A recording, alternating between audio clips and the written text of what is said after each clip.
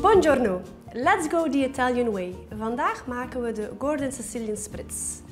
Als we een lekkere cocktail willen drinken, dan hoort daar ook een heel mooi glas bij. We gaan vandaag ons ballonglas gebruiken. Nu, voordat we echt gaan beginnen aan de Sicilian Spritz, wil ik jullie toch wel eventjes meenemen van hoe maak je nu een perfect serve. Heel eenvoudig, no rocket science. Het is belangrijk dat je een glas neemt met een hele grote opening, zodanig dat de aroma's die je er straks gaat gaan bijden mooi in jouw glas gaan blijven. We willen natuurlijk ook een koud drankje. Dan is ijs heel belangrijk. Ik neem dus het ijs erbij en we gaan heel veel ijs in ons glas doen. Nu, met heel veel ijs bedoel ik dan ook dat je glas drie vierde moet gevuld zijn. Als je dat niet doet, dan gaat eigenlijk jouw drankje, die op kamertemperatuur staat, heel snel warm worden en verwateren. En dat wil je niet. Daarna neem ik mijn cocktail of champagnelepel, hetzelfde. En dan gaan we ons glas gaan koud maken. Dat doe je op deze manier. Stel nu, je hebt deze lepel niet in huis, geen enkel probleem, dan kan je het met een gewone soeplepel doen, maar het is wel makkelijker. We hebben dus ons glas met het ijs gevuld. Nu, daar is watervorming, dat willen we dus natuurlijk gaan strainen. Hoe doen we dat? Met een van deze twee tools. Dit is de traditionele strainer.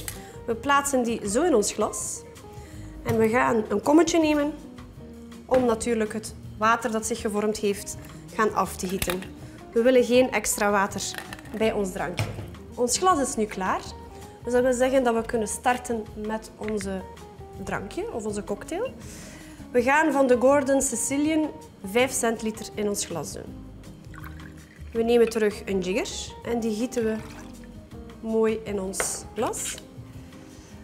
Dan nemen we de citroenlimonade. Daarvan hebben we 7,5 centiliter nodig.